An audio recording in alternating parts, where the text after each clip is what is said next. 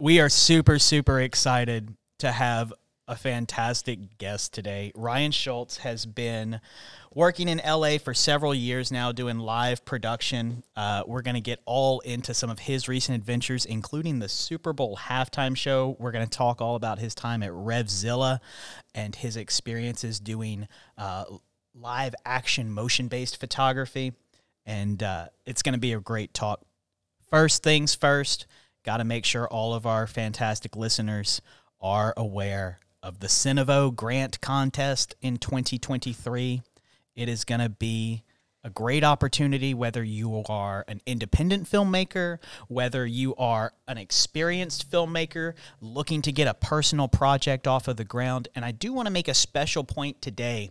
We are especially looking for nonfiction material, and that can be anything from branded content, commercial style content, music videos, documentary uh, films exploring, you know, academic topics, anything like that we especially would love to have those submitted. We have two categories that are exclusive to nonfiction, two $3,000 grants that we're going to give one to a student nonfiction submission, one to a professional nonfiction submission, and of course, our $8,000 grand prize is open to everyone. So, any independent creators or content creators looking to get a leg up and some financing for a project that you're working on, please check out our website, cinevo.com.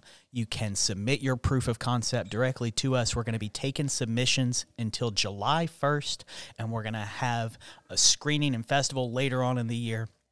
It's going to be a great opportunity, and we hope that you can be uh, a part of that. Also, on the Cinevo calendar, if you are in the Los Angeles Culver City area, uh, on Thursday, March the 2nd from 3 to 7 p.m., and you want to engage in some technical conversations, we are going to be hosting the team from Zeiss Lenses. They're going to show off the Prime Radiance, the Supreme Prime Radiance series. We're going to have some Q&A uh, with their team. We're going to have some product demonstrations. You can get hands-on. You can network with other people in the Cinevo community. Great opportunity uh, with regards to all of that. So, again, that's going to be Thursday, March the 2nd from 3 p.m. to 7 p.m. at our location here at 5760 Hannum in Culver City. Would love to have you in attendance if you can make it. Uh, check out our website and uh, our social media platforms for all of the details on that as well. Well, let's get rocking and rolling. It is the high noon hour, and we are so pleased. Ryan, thank you for joining us today. Thanks for having me. Yeah. So you are uh, the kind of quintessential East Coast to West Coast uh, transplant. You started out at SUNY uh, and doing, you know, working after graduating, working in videography with uh, with the school there, doing you know the typical weddings and, and typical side gigs that many startup videographers do. Let's talk first uh, about that journey and, and what got you from there to the West Coast. Lego guys. Indeed. It's Lego guys. Indeed. Uh, yeah, I just I think the the first time I really discovered that I had a passion for for video was making stop motion with Lego guys, and for some school project, and like uh, throughout school, middle school, high school, whenever I was given an opportunity to like make a video instead of write an essay or something, I took it. Right. Um, and and then it was yeah shortly after that that I realized like oh people do this for a career. And so um uh, from there uh, I, I discovered uh, SUNY Oswego's broadcasting program originally from upstate New York. And um, they have a great in-house television station that's student run and great broadcasting program. They have a film program as well. Awesome. uh, but I went there for broadcasting and graphic design. And um, I I had a total blast. I had some really good mentors there. Uh, a professor who I'm still close with today, Jane Winslow. She spent a lot of time with me fine tuning edits, projects that I was working on. Let me bring projects outside school into school, um, mm-hmm. and using those for uh, for in school projects.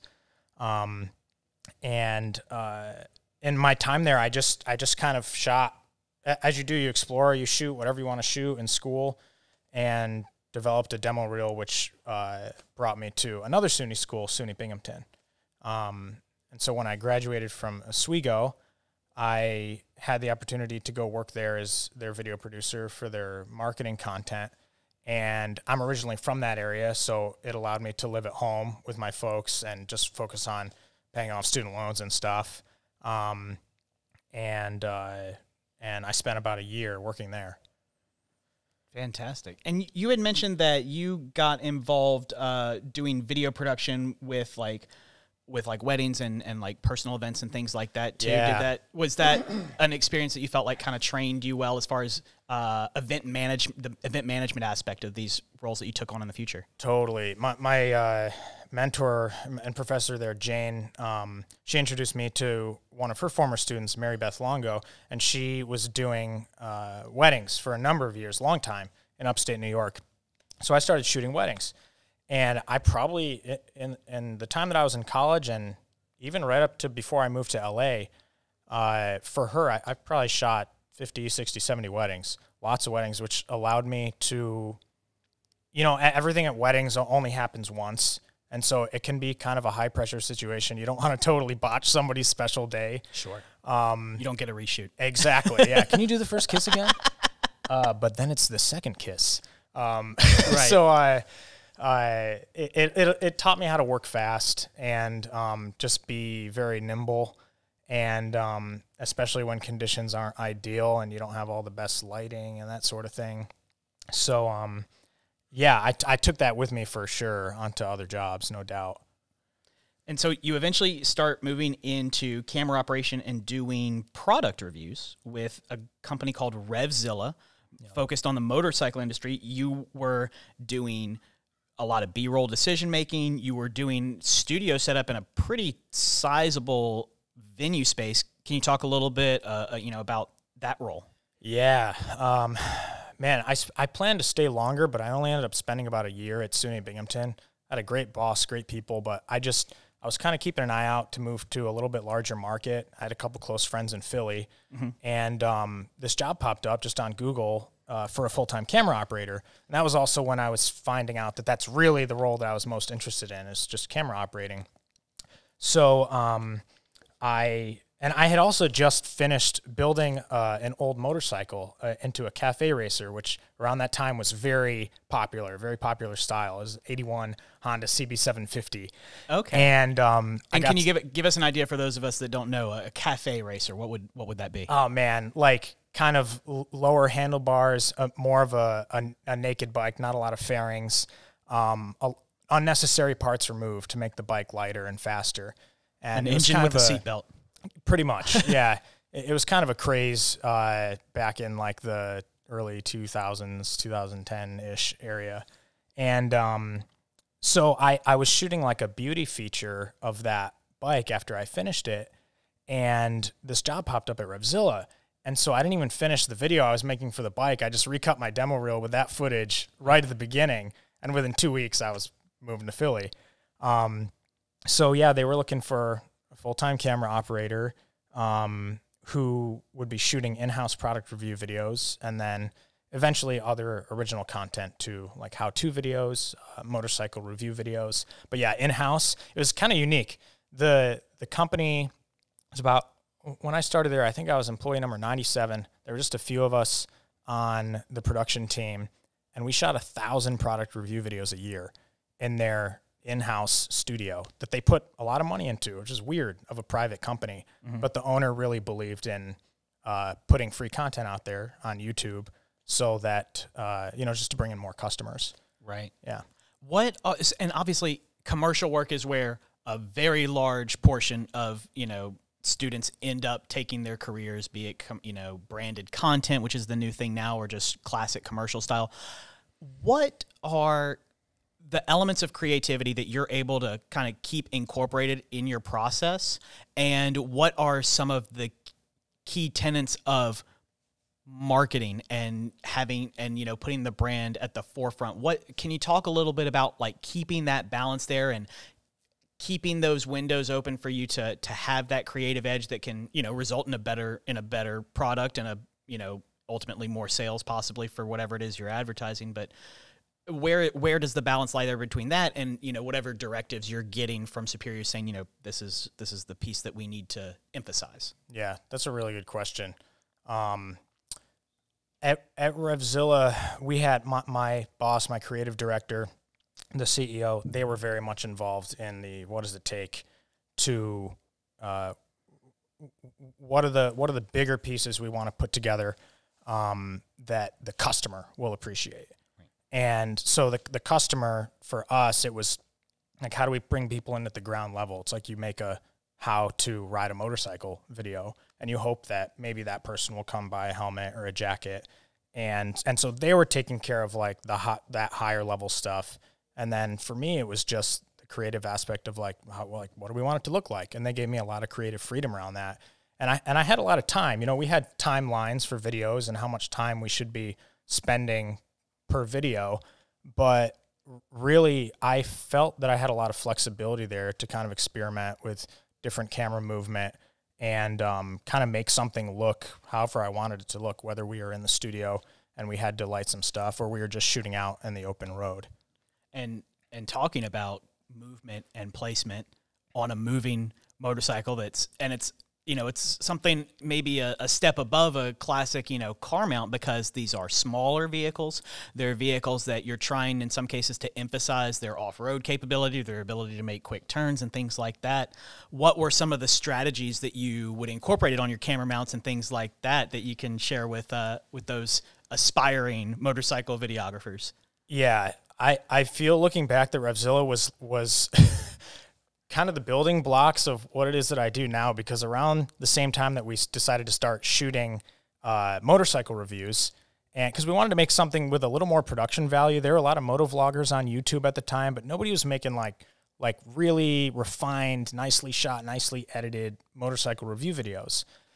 And so I'm like, I feel like we need some sort of like the main shot has to look really good, like the A camera shot and I had this glide cam sitting around that I wasn't using much. And I'm like, what if I use that shooting off a motorcycle to shoot a guy on the motorcycle reviewing the bike, like in real time as we're riding? Mm-hmm. And so my boss and I jumped on a Ducati uh, Multistrada and I put my rig on and kind of shot off the side and we rode around and it was awesome. Like it looked, it wasn't perfect by any means. I was pretty terrible, but it it just like seeing smooth shots like that that I feel like we typically didn't see in the motorcycle video world um, was really cool, and it totally wrecked my back at the same time because the bike is leaning and we're going like 30 40 miles an hour whatever uh-huh. but and it was a lightweight rig like c100 on a glide cam mm-hmm. Uh, and but it just like it just wrecked me. I'm like, there's got to be a better way to do this. And so I started researching, and around the same time, Freefly had released their M5, M10, M15, the Movi. And I'm like, this is exa- looks exactly like what would make this so much easier to do and not just like destroy my body as I do it. And so we rented uh, one a couple times, and it seemed like it was the right tool. And then, and then we bought one in house, which is crazy looking back because like the M10, I think it was like ten grand or twelve grand or something, mm-hmm. like something that an individual might not buy, but like a company would buy. So it was it was great having Revzilla right. as that resource, and they were willing to invest in that in that tool. And then we we really uh, narrowed down what our setup was, which was a a Harley Davidson Street Glide, uh, which is a big cruiser touring bike, big fairing, uh, and with a nice comfy passenger seat. And we would bolt a, uh, a seat belt underneath the back passenger pegs, and I would sit backwards holding the Movi oh, and man. shooting our on-camera personality riding the bike we were reviewing right. as he talked about the bike and different components and we would move around each other and we were able to get all these different angles and like it was so cool. It was and it was so much fun. And it was definitely stupid. Like it was probably not what I would recommend nowadays, maybe for someone to go get footage. But I'm sure there's people out there that have similar crazy stories. No doubt. And capturing audio there to sync up as well. I mean, I guess if he's wearing a helmet, you don't have to, it's a little bit easier. Was he helmeted where his face was like covered? Oh, man. I spent so many hours trying to figure that out. And uh, in the motorcycle world, Bluetooth communicators are really big, which yeah. is an attachment you can a helmet might have it built in, or you can yeah, they've got helmets helmet. just with like cell phones built in, basically. Yeah. Yeah, yeah, and and those have a microphone in them, and the whatever algorithms they run for noise cancellation and wind uh, deduction reduction uh, works really well. And so there was this little back uh, made by Senna or Sena um, that you would plug right into a GoPro, and it would Bluetooth record audio, and it sounded so good. And then I'd have a backup uh, Tascam little little Tascam. I think it was a DR10C um, with like a nice Countryman microphone mounted on the back of their helmet, so you couldn't see it, and then run the microphone in. And that was a great. Those record at a couple different levels, um, so you kind of had a backup track on a backup track between the Bluetooth recorder and then the Tascam. Yeah. Probably very worth having though, because you're Oh, not yeah. going to be, you might have some little piece of the audio that goes out and you don't really know it till you're in the post production process. Absolutely. Right. So having Yeah. that backup of a backup and it's clean on that one, it, Yep. can, it can really make a difference. Then you put a little fuzzy on there, and like it worked great. Awesome. Great. Yeah, so you you were with Revzilla for uh, about three or four years, and then you I get what what was the impetus for you to say West Coast here I come? Yeah, at, at about the three year mark, uh, I I felt my position like we, we weren't traveling quite as much to shoot motorcycle reviews.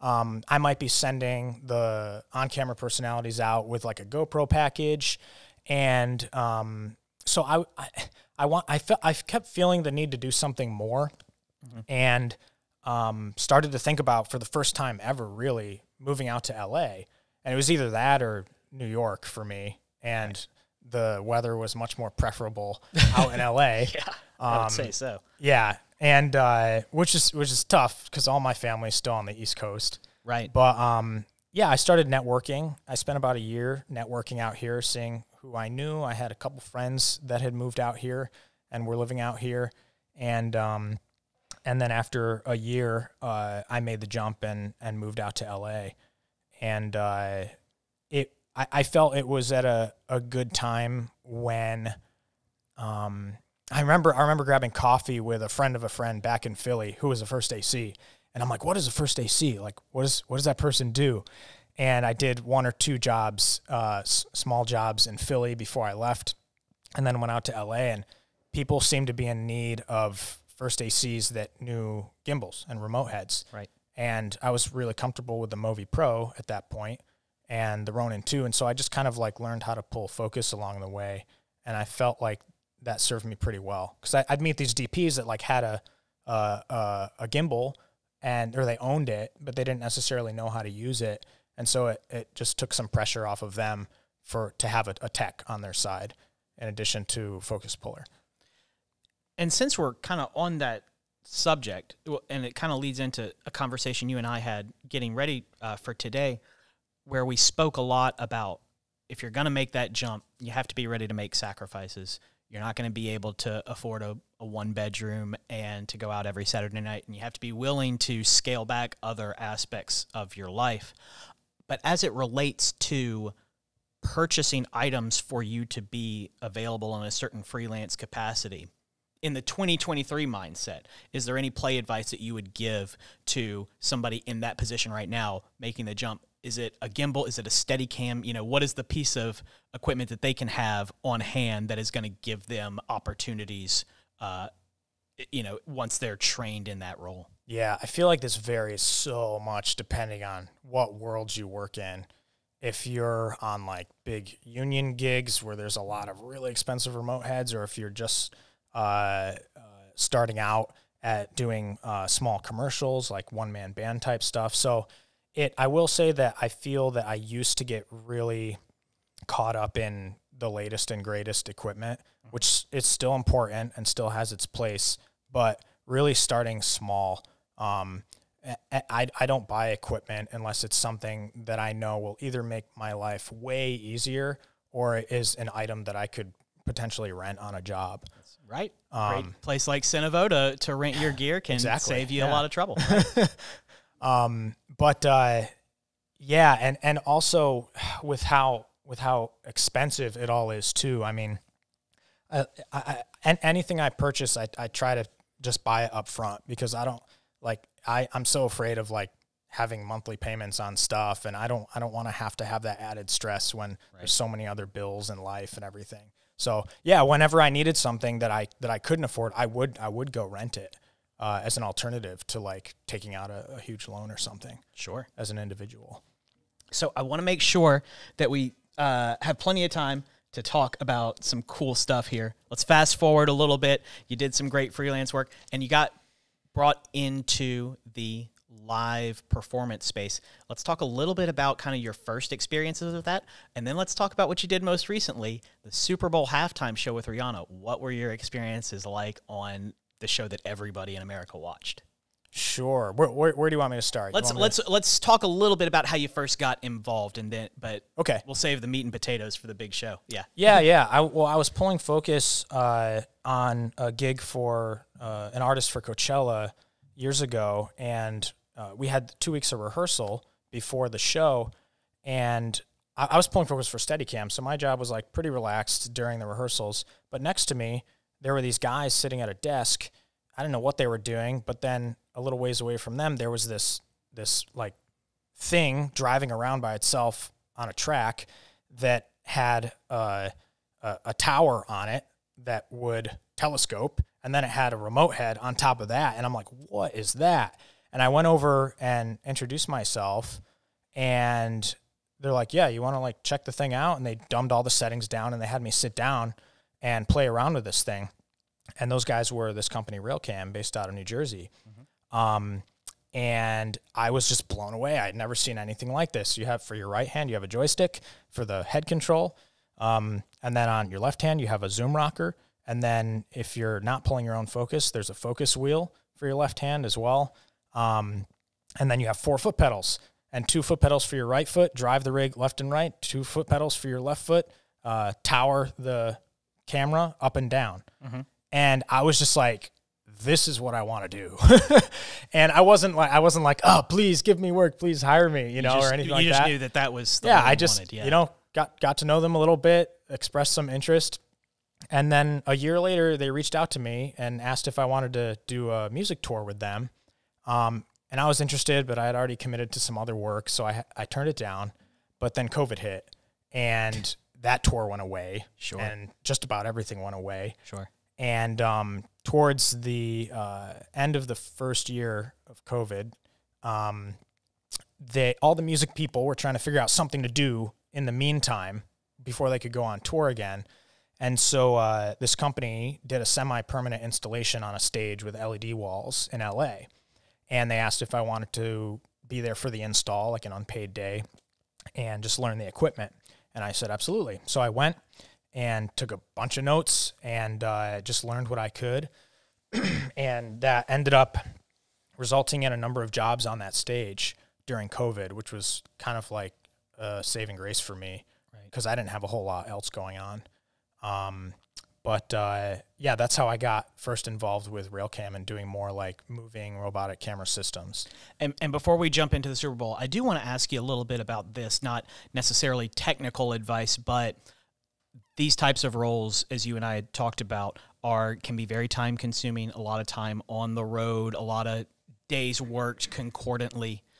How does someone uh, personally prepare for a role that's going to take you out of your normal daily life for days, weeks, sometimes months at a time? Sure. Um, for me, I mean, one of the most important things is, is a partner that understands and is okay with me doing that kind of work. My wife, Jasmine, is she has never given me a hard time about going on the road. And, you know, as we start a family and stuff, I'm sure that that will get uh, harder down the road. But um, in the five years we've been together, like she's never given me any grief, which is awesome. And if I ever have an opportunity to take her with me, I will.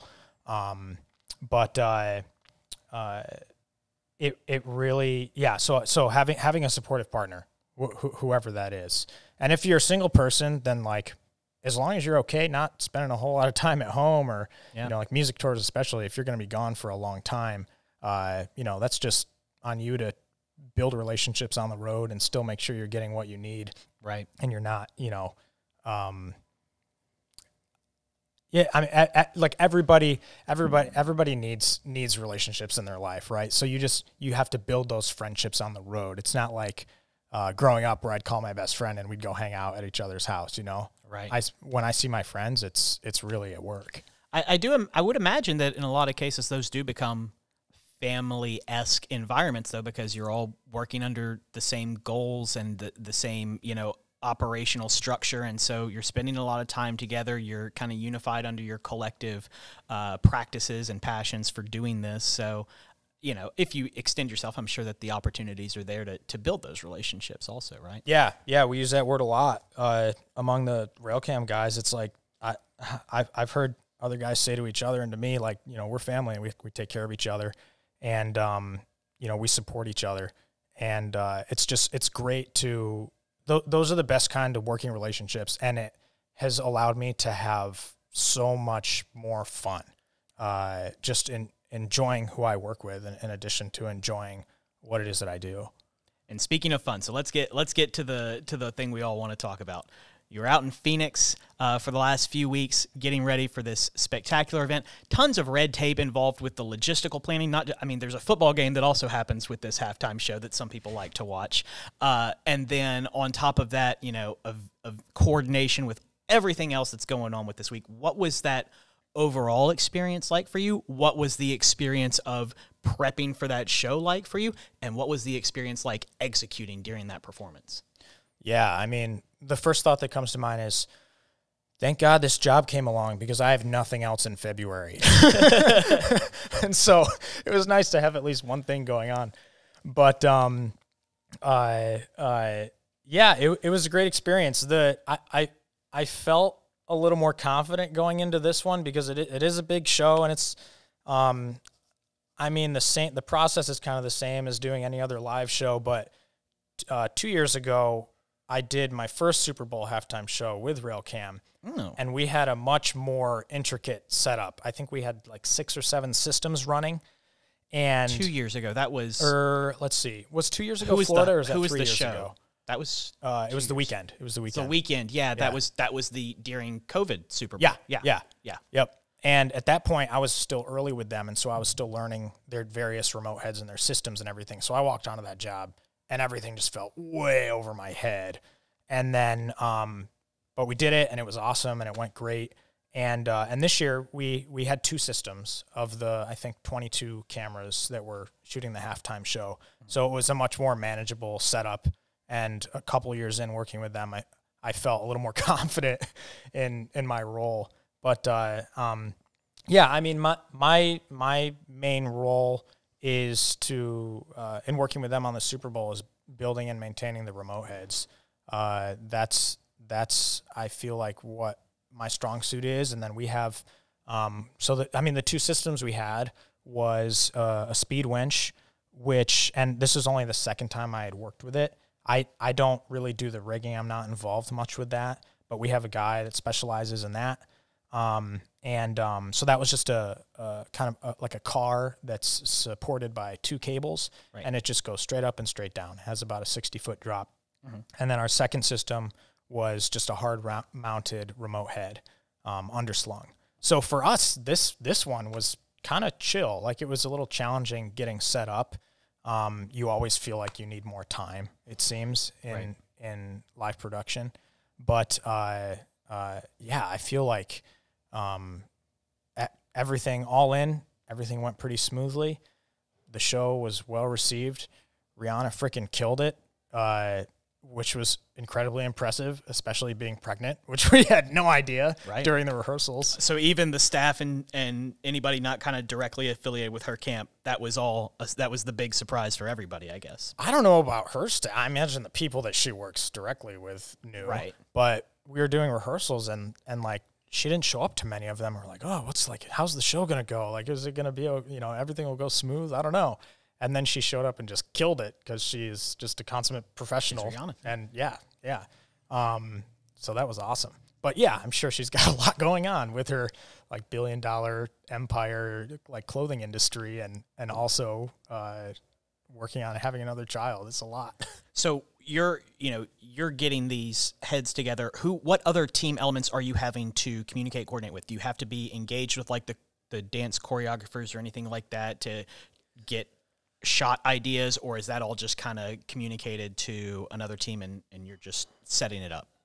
I mean that that more that higher level stuff is more on the director. Like they're looking during rehearsals, they're looking at all the frames. They have an idea. Everything's like previs. They have an idea of what they're going for, um, and you know things might change. Lenses might change. Camera positions might change a little bit, but mostly the show is decided upon before you're even there because of all the tech that goes into it, Right. And like all the cables and all the wireless and everything. Um, so if I'm ever interacting with those folks, it's more uh, like a safety thing, you know, making sure that nobody's going to get run over by a moving camera system or something. Yeah. And did anything like that come up? Any any uh, you know adjustments that had to micro adjustments that had to be made to the process or anything like that? Or like you mentioned, I guess it was pretty smooth sailing for the most part. Yeah, we did have some adjustments with the speed winch because um, of where they wanted the camera. There wasn't like a hard mounting point, which normally is ideal. So I think they, they had to like build some sort of, uh, um, I don't even know what, what exactly I want to call it, but uh,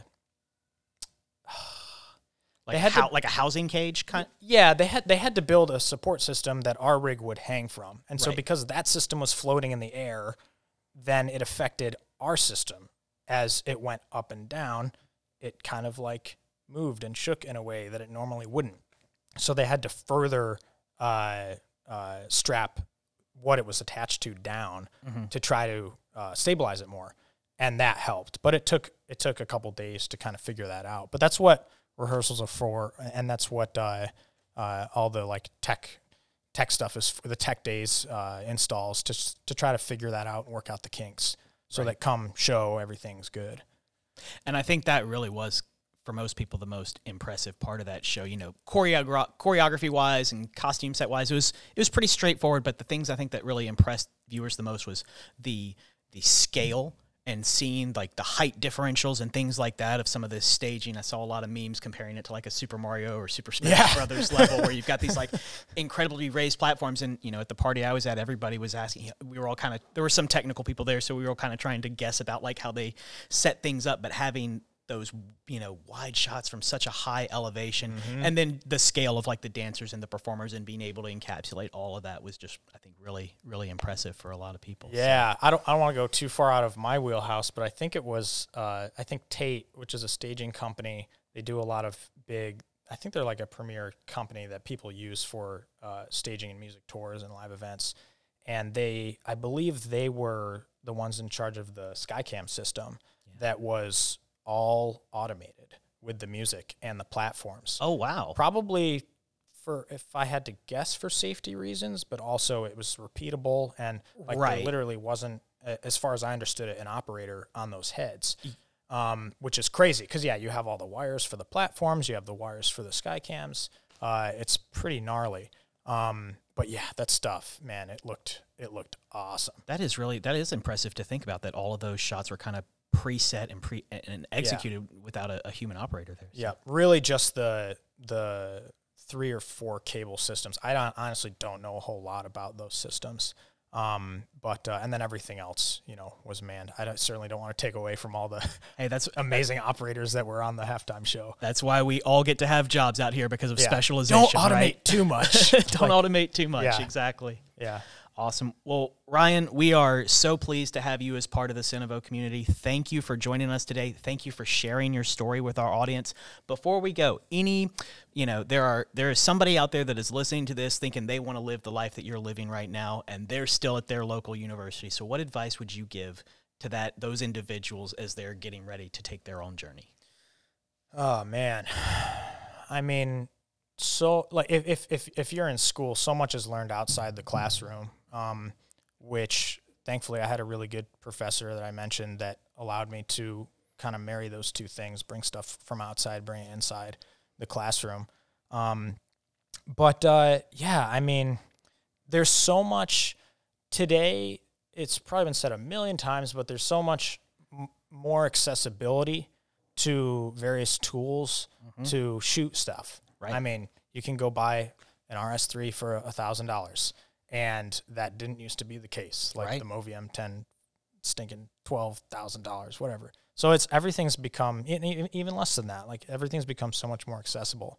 So yeah, I mean, just shoot, just get your hands on a camera and just be creating all the time and see where it leads you. There's so many. I didn't even know that what I'm doing now was a job Right. five years ago, and and I feel like that is becoming more the case as more technologies around cameras and support systems evolve. There's so many different ways that you can be uh, a technician, or so many different ways that you can be an operator or a director of photography or a director. There's just so many genres of of uh, of work that can be done, and so yeah, just experiment and kind of figure out what it is you're most interested in, and go from there. Awesome. Awesome. Well, again, Ryan, thank you so much for joining us today.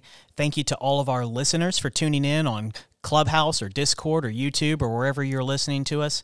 A reminder check out our website, cinevo.com, for all the information about our upcoming events, including our 2023 grant contest for creators, as well as our March 2nd expo with the Zeiss Lens team. Thank you again, Ryan, and we'll be seeing you soon.